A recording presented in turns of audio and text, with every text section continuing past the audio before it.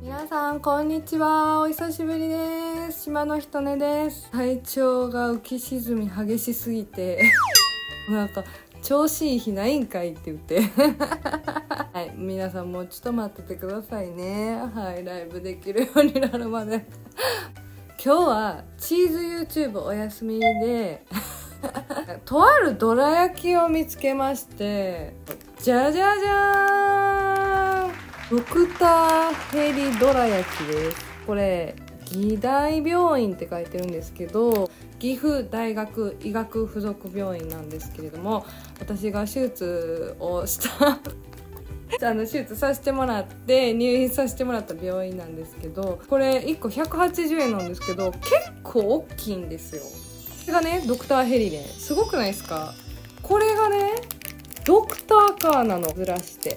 ほらドクターカー義大病院って書いてるでしょ。もう1個が二大病院のこの病院の絵が描いてるんですよ。私感激して病院のコンビニに3つ売ってたんですけどちょっと動画アップしたいなと思って。買ってきました。どれもね味は一緒だと思うんでとりあえず1つ食べさせていただきます。まあちょっと私的に一押しはドクターヘリです。めっちゃかっこよくないですか。ドクターヘリ。じゃあちょっと食べさせていただきます。じゃあ開けていきますね。じゃじゃじゃじゃじゃはい。ということでこんな感じです。めっちゃかっこいいよね。ドクターヘリ。機大病院。ちょいただきますね。うーん。うんうんうん。おいしいおいしい。いい感じもちもちしててちょっと。ね。あんこがすごいぎっしり入ってるんですよ。一つ食べるだけで結構お腹膨れるんですよ。でなんと消費税消費税込みで180円なんですよ。結構安くないですか？岐阜大学病院に行ってない人でも買えるんかな？の病院の中のコンビニなんですけど。自分のさプロフィールに自分のことどう書いてたかな？あの細かいプロフィールには書いてたけど実は小さい時お医者さんになりたかったんですよ。こう見えて。皆皆さんご存知の通りちょっと私ねあんまり頭良くなくて。そう。でまあちょっと断念したんですけどやけどお医者さんに憧れみたいなめっちゃあるんですよ。病院勤めとか。すっごい憧れがあって今回手術してくれた先生もなんと女の先生やったんですよ。美人な先生で。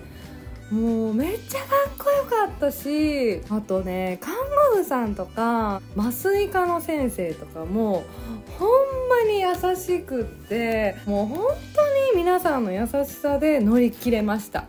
はい食べます。思い出話です。あバターが入ってるのかな？なんかね白いすいませんちょっと綺麗ではないな。ちょっと白いのがあるのでバターがちょっと入ってると思います。はい。美味しいです。ではね皆さんちょっと本当にねご心配ばっかりおかけしましたけど私の体調のことで。術後経過も良くなってきてるのでちょっとずつまあねライブ復帰できるように体力もねつけていけるように。まあちょっと今でもな腹筋とかできひんから お腹切ってるんで。まあしっかり歌はね家でもちょいちょい歌ってるので喉の筋トレはしっかりね引き続きしていっていいライブを。来年の夏ぐらいにはできたらいいなーなんて勝手に思ってるんですけど。楽しみに待っててください。では島のひとねでした。美味しかった。バイバーイ。ドクターヘリー。